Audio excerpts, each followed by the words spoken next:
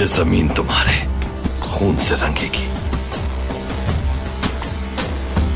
और तुम्हारा जुल्म खत्म